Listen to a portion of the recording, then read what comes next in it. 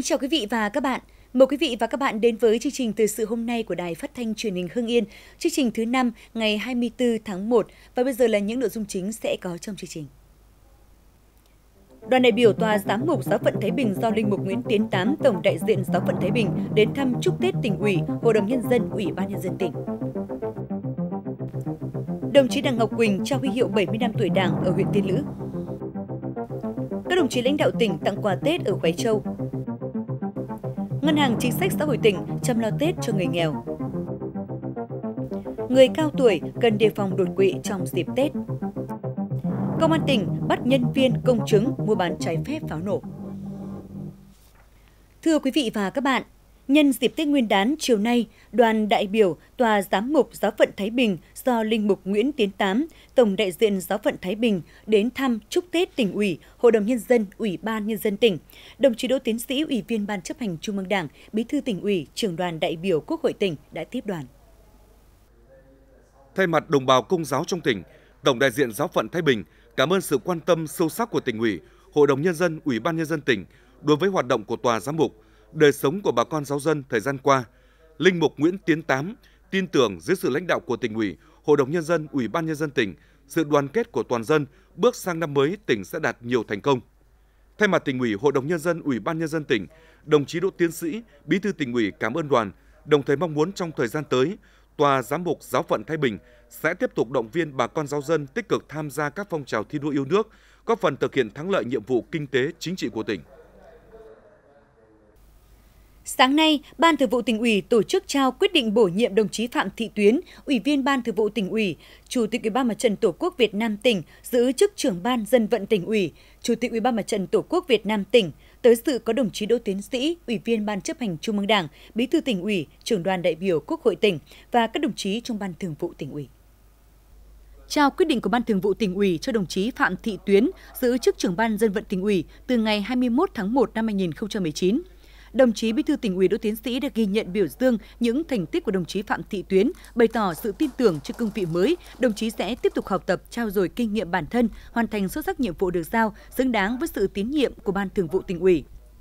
Buổi chiều cùng ngày, Ủy ban nhân dân tỉnh trao quyết định bổ nhiệm đồng chí Đoàn Văn Hòa, Ủy viên Ban Thường vụ tỉnh ủy, nguyên trưởng ban dân vận tỉnh ủy, giữ chức Giám đốc Sở Văn hóa Thể thao và Du lịch từ ngày 21 tháng 1 Đến dự có đồng chí Nguyễn Văn Phóng, Phó Bí thư tỉnh ủy, Chủ tịch Ủy ban nhân dân tỉnh, đồng chí Đặng Ngọc Quỳnh, Ủy viên Ban Thường vụ tỉnh ủy, Phó Chủ tịch thường trực Ủy ban nhân dân tỉnh.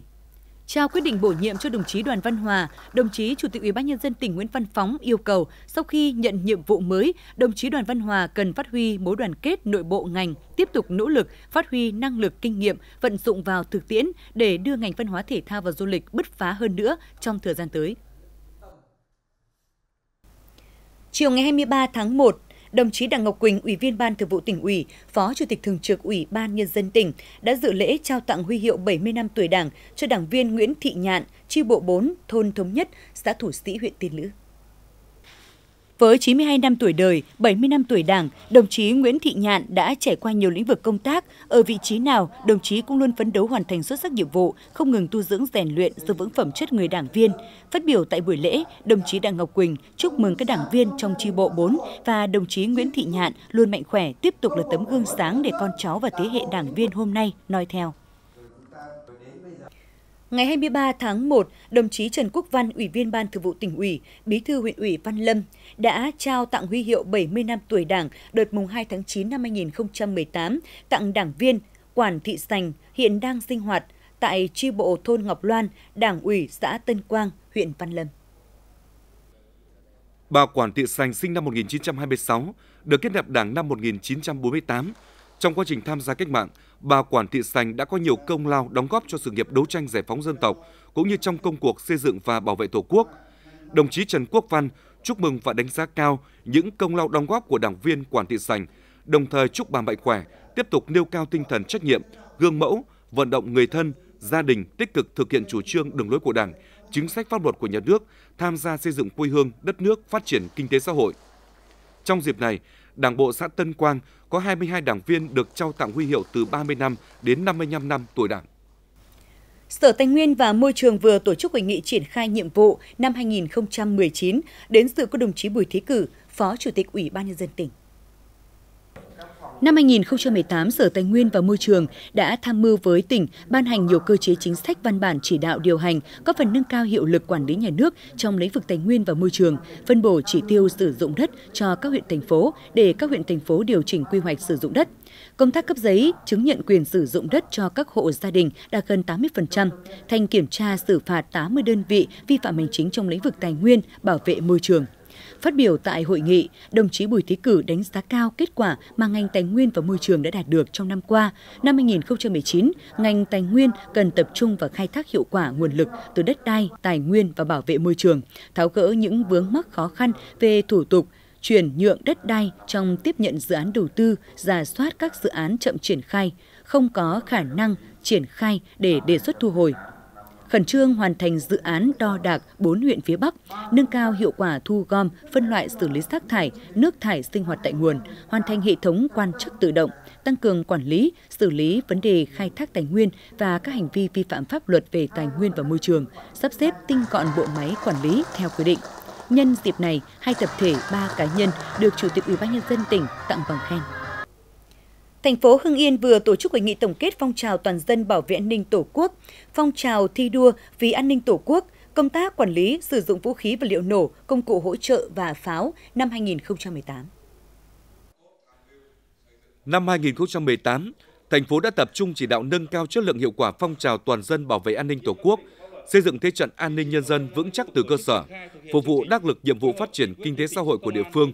trong đó chú trọng đa dạng hóa về hình thức, sáng tạo về nội dung, tuyên truyền, vận động nhân dân tích cực tham gia phòng ngừa đấu tranh, phát hiện tố giác tội phạm và các hành vi vi phạm pháp luật, góp phần đảm bảo an ninh trật tự. Trong năm, quần chúng nhân dân đã cung cấp cho các cơ quan chức năng hơn 200 tin có giá trị phục vụ công tác đảm bảo an ninh trật tự trên địa bàn, phối hợp với các nhà trường trên địa bàn thành phố, tổ chức 7 lượt tuyên truyền về luật giao thông đường bộ với hơn 5.600 thầy cô giáo và các em học sinh tham dự duy trì 154 mô hình tự quản đảm bảo an ninh trật tự, 6 cụm liên kết an toàn về an ninh trật tự, duy trì hai tuyến đường kiểu mẫu về trật tự an toàn giao thông, tổ chức ký kết, triển khai quy chế phối hợp đảm bảo an ninh trật tự tại khu vực giáp danh giữa huyện Lý Nhân tỉnh Hà Nam, huyện Hưng Hà tỉnh Thái Bình và thành phố Hưng Yên. Năm 2018 có 129 đơn vị khu phố, phường, xã đăng ký đạt tiêu chuẩn an toàn an ninh trật tự.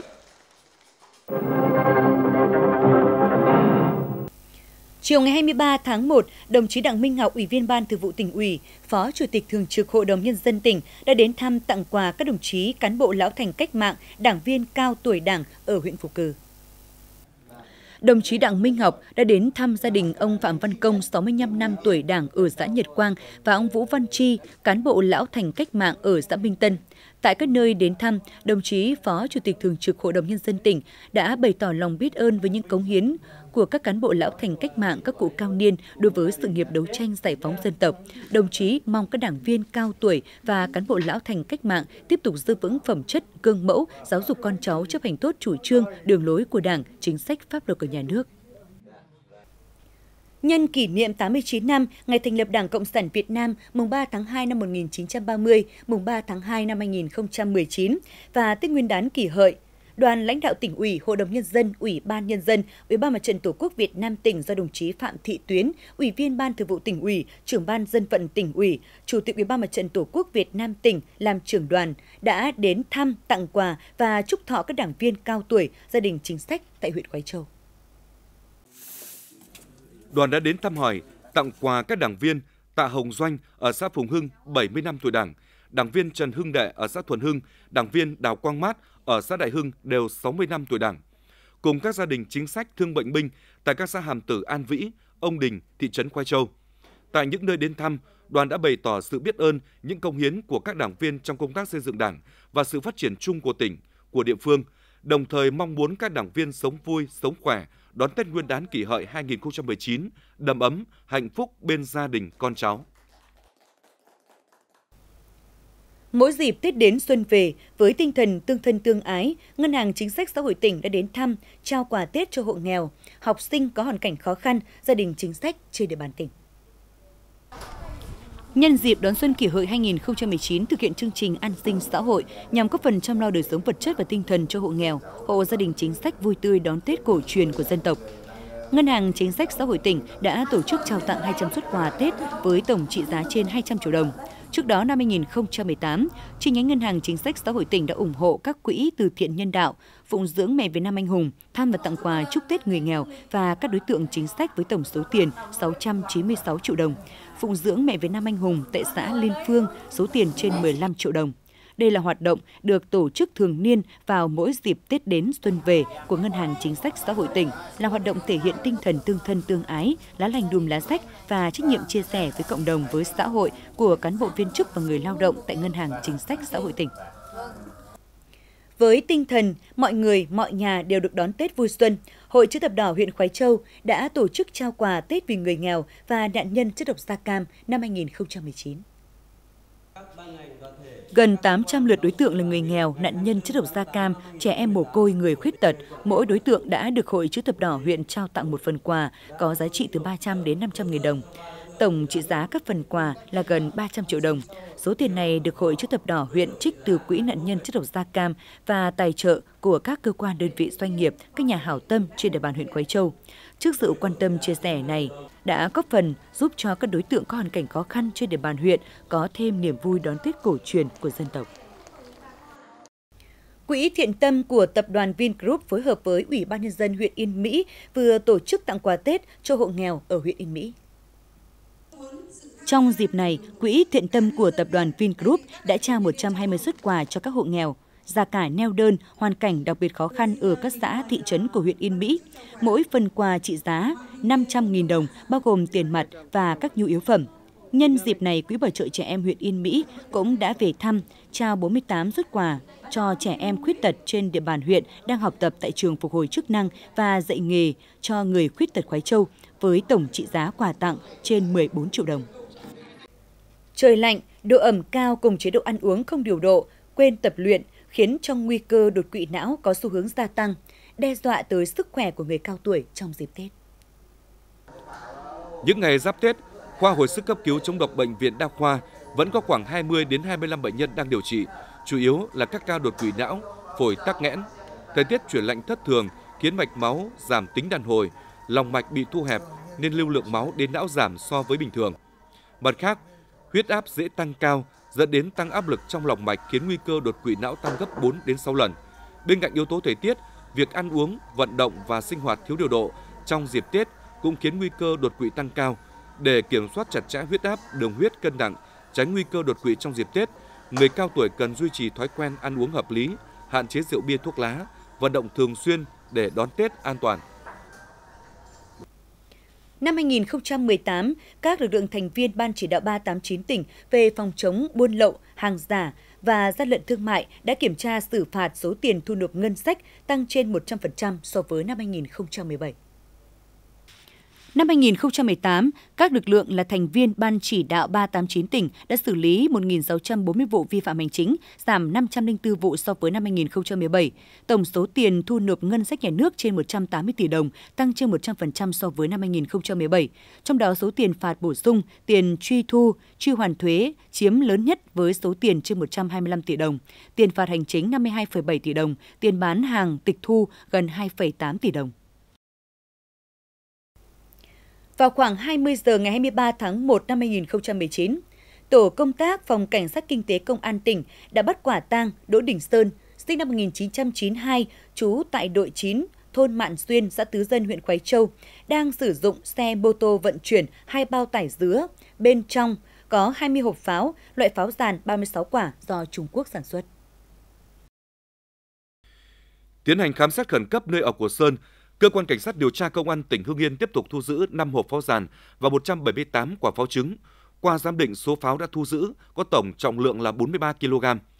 Tại cơ quan điều tra, Sơn khai nhận vào giữa tháng 1 năm 2019, đối tượng này đã mua số pháo trên của một đối tượng không rõ tên tuổi với tổng số tiền 12 triệu đồng về để bán kiếm lời.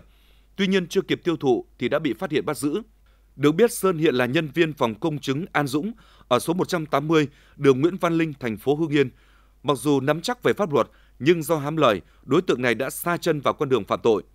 Hiện cơ quan cảnh sát điều tra công an tỉnh Hưng Yên đang tạm giữ Đỗ Đình Sơn tiếp tục điều tra xác minh vụ việc để xử lý theo quy định của pháp luật.